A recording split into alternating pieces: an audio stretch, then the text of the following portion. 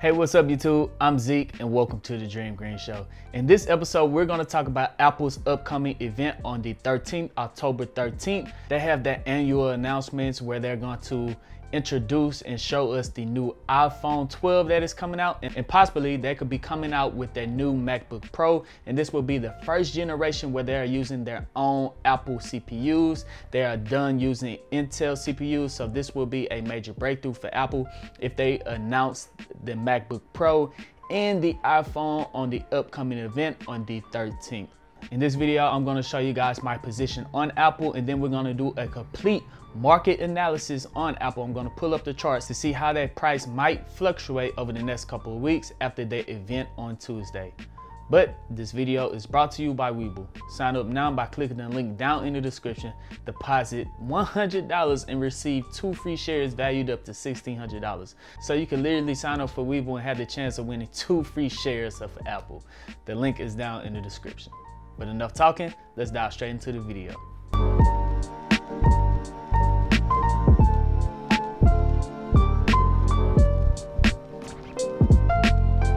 Welcome back dreamers. Here we are on Apple ticker symbol AAPL. Apple is at $118 even at the recording of this video. They had a pretty good week up $4.09, 3.59%. I currently own 8.84 shares worth of Apple, which is around $1,043.55. I had got into Apple before the stock split, which, which is the reason why I have so many shares of Apple. Now I have eight. My average cost is $117.43.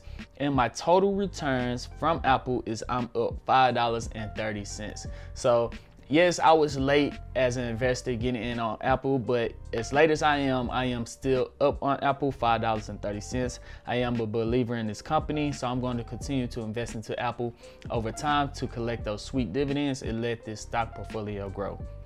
If we take a look at their market cap, they have a two Whew, they have a $2.03 trillion market cap. That is a lot of money with a dividend yield of 0.68%.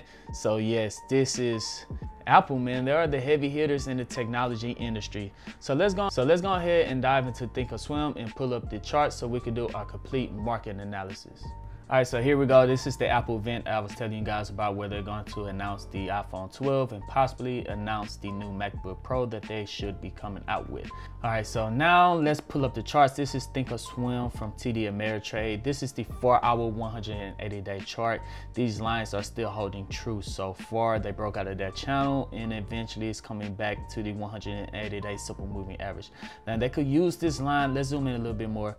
They could use this line as a resistance if no good news come out from Apple, uh, the event, let's say they, let's say there's no difference from the last generation iPhone to this generation iPhone, which I doubt it, it will be, but let's say that they have no good news from the Apple event on Tuesday. This price point could use this $118, $120 um, price point as a resistance line and pull all the way back down to around $98 if nothing works out good for Apple.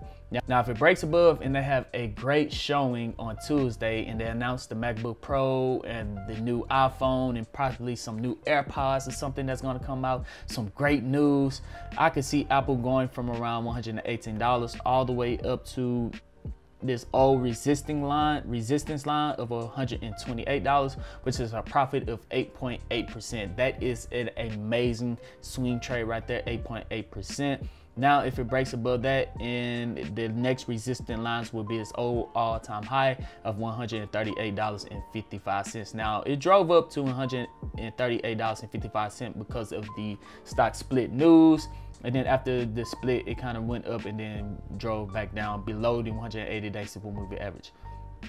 Now that is not good that Apple is currently trading below the 180 day simple moving average. So let's zoom in a little bit on the one hour and 20 day chart. Now that is the resistance line that we just drew. So it, it, it looks like it's peaking above. We will find out tomorrow when the market opens, but it is currently trading above the 180 day simple moving average on the one hour chart but this signal right here, it is overbought on the RSI. And usually when it's overbought on the RSI, it's just gonna trade sideways or sell off. So the last time it was oversold on the one hour chart right here, it took a major dip at market open. So Apple could take a major dip at market open and use the 180 day simple moving average on the one hour chart as a support until Tuesday when they should come out with some good news. Now let's zoom all the way out on the one year, one day chart. Now, it's not so good that Apple is so far away from the simple moving average on the yearly chart. So that is that is a big concern. Let's go ahead and draw the uptrend from this wick right here. It's gonna touch another wick right there and one more. So let's use this right here as the uptrend. So this wick right here, touch right there. So it touch right here, touch right there, and it's touching right there. So right now it's using this line as the resistance line and it's using the uptrend line as the support line. Now if Apple do get rejected right here and somehow fall below this uptrend line, I could see Apple trading within this bar and this bar until it catches up back to its simple moving average. So somewhere around in there. So apple could trade sideways in between the 100 the $100 price range in the $117, $118 price range until it eventually catches up and touches the simple moving average. Right now it's a bit far away from it. So apple as a swing trade is you could take a good buy from the good news all the way up to 130-ish, $129. Or you could wait for the pullback if it breaks below this flag pattern right there, all the way back to its old resistance line of around $97. If it do pull back to around $97, a lot of investors are gonna sweep in and buy up a bunch of those shares. So that is two ways that you can play Apple over the next couple of days after the event. Now, this is a good indicator right here on the MACD. It is just about to cross. Let's zoom in just a little bit. Yes, it's just about to cross. If, now, if it do cross, you can see Apple on the uptrend on the $130 price point to around right there.